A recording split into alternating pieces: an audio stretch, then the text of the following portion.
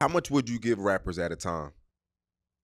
I mean, I mean, certain was asking for a lot of money. You know, some of them getting fifty thousand, some of them getting twenty five thousand. There's different rap coming to get different monies. You know, it was up back then.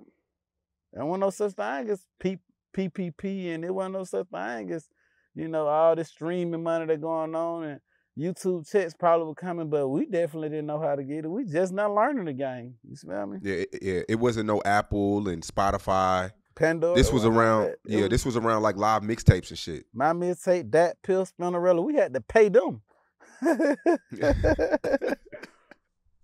you had to pay them to get the top slot. I remember that time.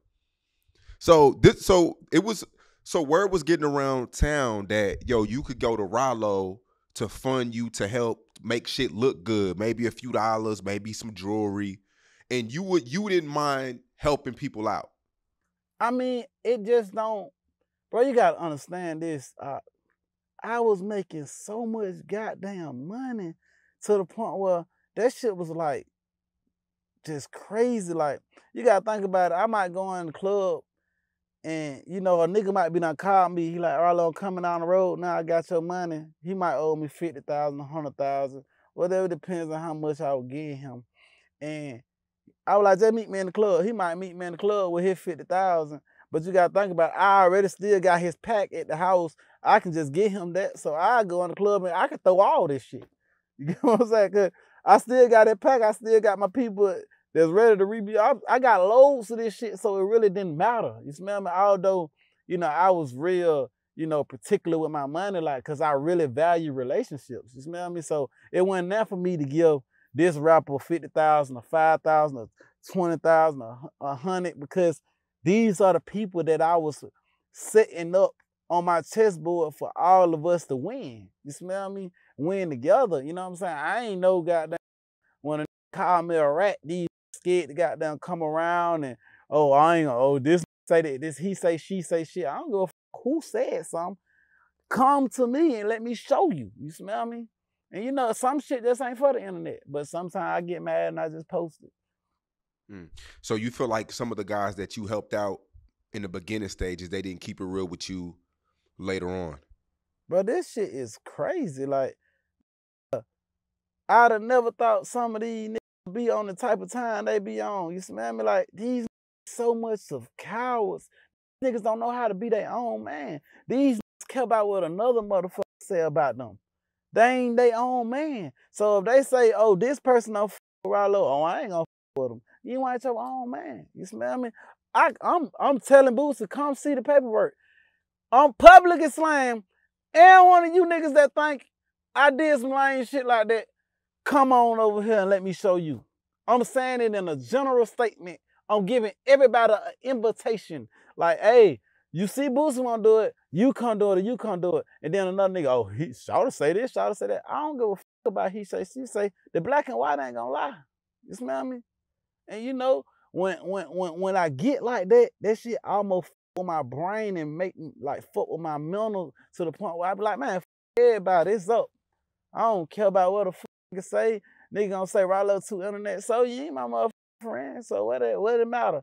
Maybe if you was my friend, I probably listen to you. But you want to support me in private and talk to me in private, and you don't want to support me publicly. You. So you feel like not even just well, Boosie, uh, that time when the I guess the the phone call leaked or whatever, he went on Vlad saying what he said. You feel like that kind of hurt your reputation just a little bit. It hurt where, me. Where, it, to where it, certain rappers don't want to stand next to you. It hurt me, my feelings to the highest, to the highest, to, to the core. You smell me? I personally feel like, you know, in this life, that's the worst shit you can be called.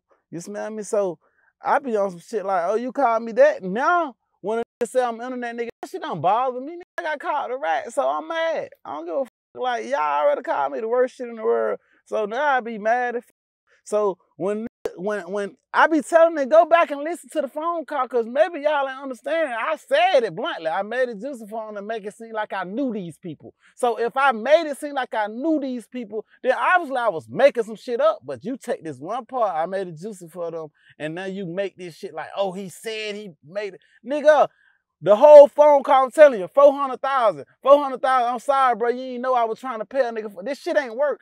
And now we're talking about seven years later now. It's seven, eight years later, and we haven't found out one person that's locked up for Ralo. I even heard a nigga say some shit like, oh yeah, he gave people up, but when they said he had to testify, he he didn't want to move forward.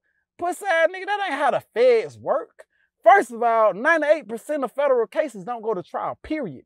And second of all, I had Brian Steel, Don Samuel, and Drew Findling. I had the top three lawyers of the time right now. You think for one second, if a nigga would have got arrested for Ralo, they want to let me go home? What if I if nigga would have been arrested for Ralo, Brian Steel, Drew Finn, and Don Simon would have made sure I walked out that door.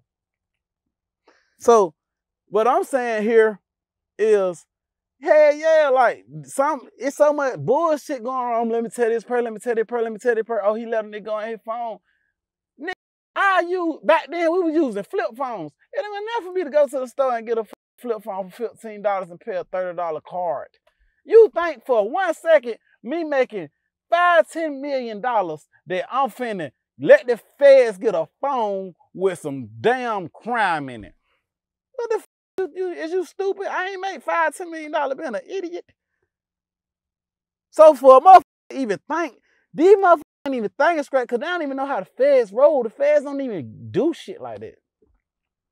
I forgot what the audio said. I think the audio was something like you pretended you told on some you it was some I, I don't know. What was give us a rollback on the audio again that that came so, out while you were in the feds. The brother called the brother called me. First of all, I'm on a cell phone. Everybody keeps saying this a jailhouse call. It was never a jailhouse call. Y'all just perceiving it as a jailhouse call because this nigga had on like a wire or something. Cause I'm making sure he ain't recording me because I'm on Queen phone. You smell me? So Queen, so he could never been recording me like in per in, in like like out in, in public. He had a motherfucking little thing on and he would record he put me on speakerphone and I was talking to the nigga.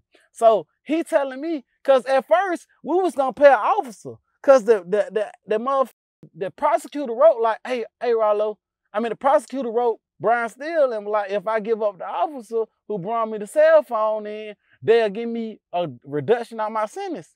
So I'm like, shit, let me call the officer. So I get me a cell phone. I call the officer. I'm like, look, I'm gonna give you two hundred fifty thousand dollars for you to go on this motherfucker and tell these people you brought me their phone. Cause I know if you get some paperwork on me saying I told on you, you gonna tell the world I told on you. So I called John Doe. I made sure John Doe went to the mother officer and tried to pay the officer 250000 The officer said, hell nah, Ralo.